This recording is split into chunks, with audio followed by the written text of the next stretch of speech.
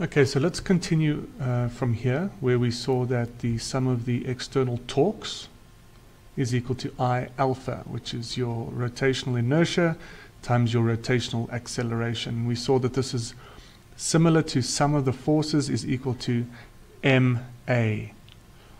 Okay, but now how are the rotational acceleration and the rotational velocity related? Well, in the same way that acceleration is dv dt, that's the linear acceleration, rotational acceleration is d omega dt.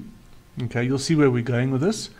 So if this, so now we take that and we plug that into there, okay, because there's that's our alpha, and we take that and we plug that into there.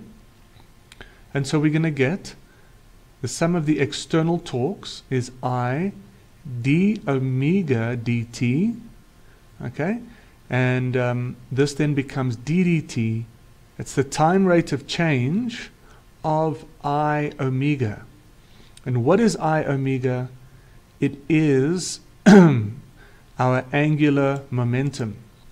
I omega is angular momentum. So, this is telling us that the sum of the external torques is equal to the time rate of change of angular momentum. Okay, so remember, uh, the, similarly, the sum of all external forces is equal to the time rate of change of momentum.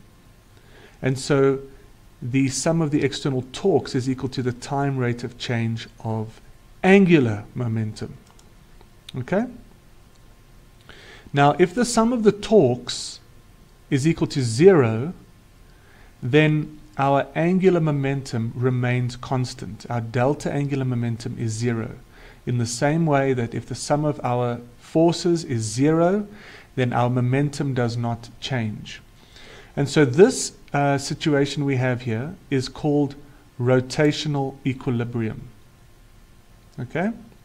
We also know about translational equilibrium. We've looked at that in chapter 8.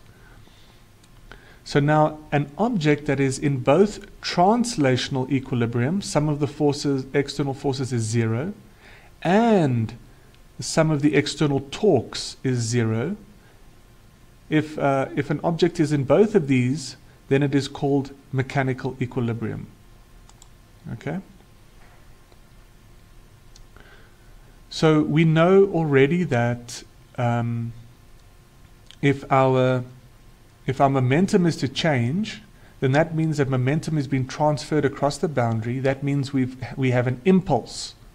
Well, in the same way, um, we also have something called a rotational impulse that changes the uh, angular momentum.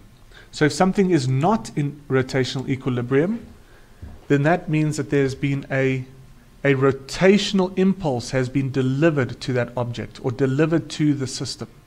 Okay, so it's exactly the same way. Okay?